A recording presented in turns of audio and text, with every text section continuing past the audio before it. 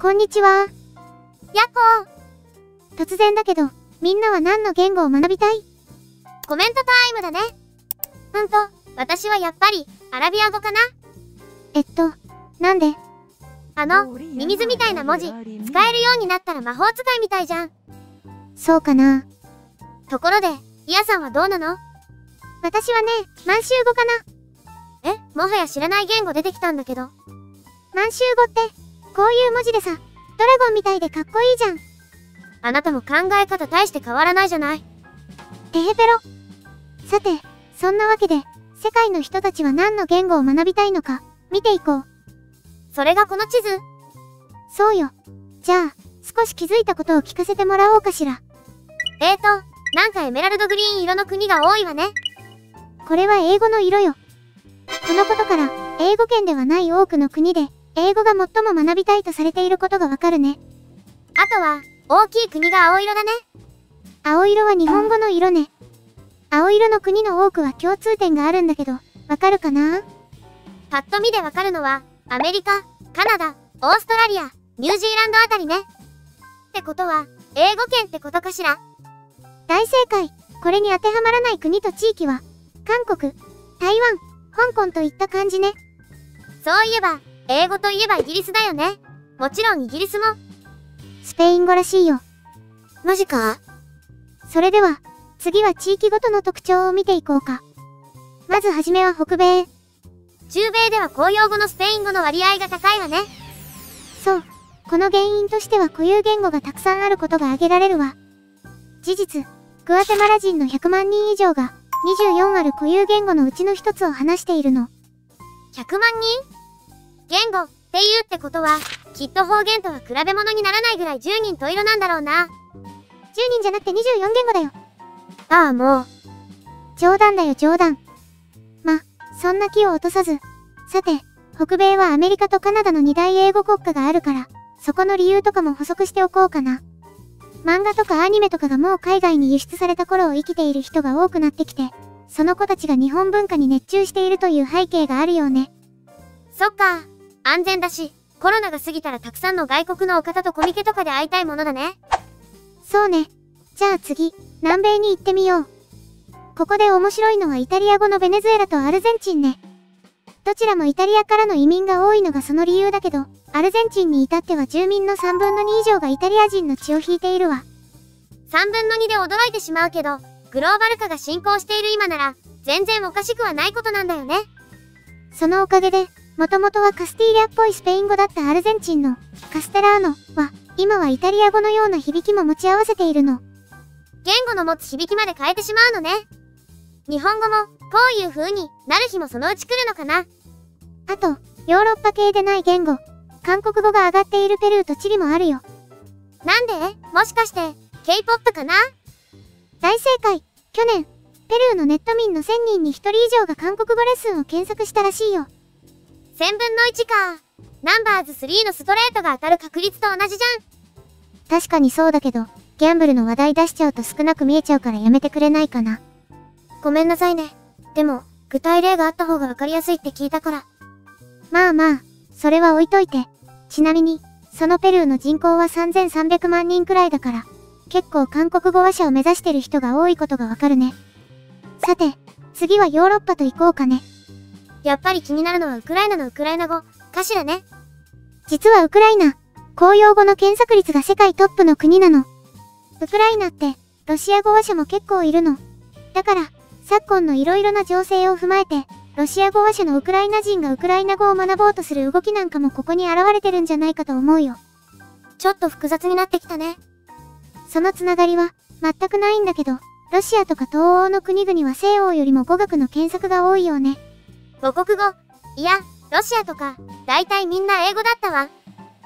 やっぱりこの東西欧州の差って、西側が発展して、東側から西側へと人とかが流れていってる今の状況とリンクしてるよね。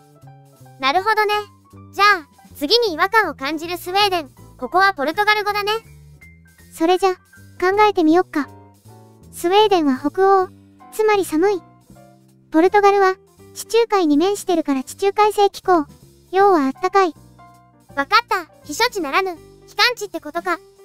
あの、避期間値って、普通に存在してる言葉らしいよ。そうなのか。でもあんまり使われないってことは、日本はやっぱり寒いっていうよりかは暑い国ってことだね。心の奥底にある感覚としては、そうなのかもしれない。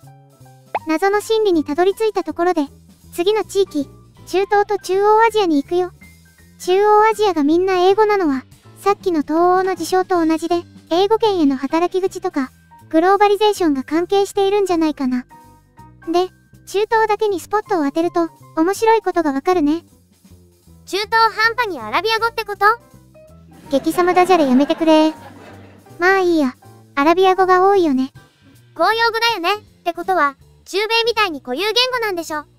目の付けどころは鋭いね。残念。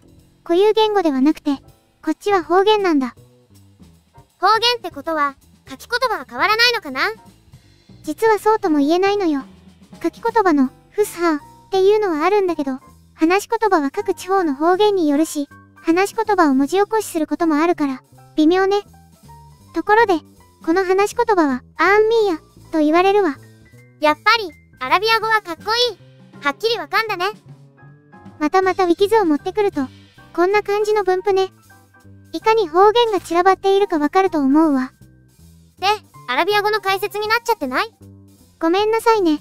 じゃ、話を戻して、アラビア語の学習をする人が多いゆえんは他にもあって、国によっては少数民族がいることもあるんだけど、やっぱり外国人が多いのよね。植民地とかのつながりかしらね。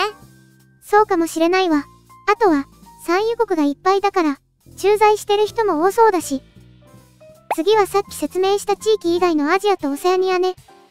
まず、この中から言語学習トップ3を選んでみて。うん。やっぱり、人口の多い、インド、インドネシア、パキスタンとかかしら。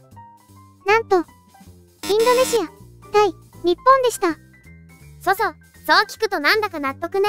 ビジネスチャンスが結構いっぱいありそうな国ばかりだもの。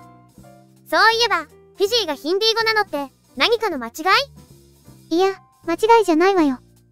フィジー国民の3分の1以上がインド系なの。なんで、泳いできたの？こういう話題に大体出てくる、フィジーの宗主国、イギリスのせいよ。ついに登場ブリカスくん。端的にまとめると、英国人がフィジーに上陸。持ってきた病気が拡大、フィジー人絶滅の危機。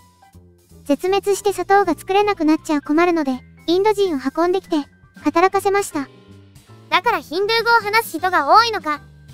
厳密に言うとこれもフィジーなまりなんだけどね。そりゃあね、インドとどのくらい離れているの？だいたい 12,000km くらいよ。そりゃなまるわな。あと、ラオスが唯一中国語なのは？中国人がラオスの経済を牛耳ってるかららしい。ああ、だから話せれば就職に役に立つっていうことね。他の国での英語がラオスでは中国語ってことか。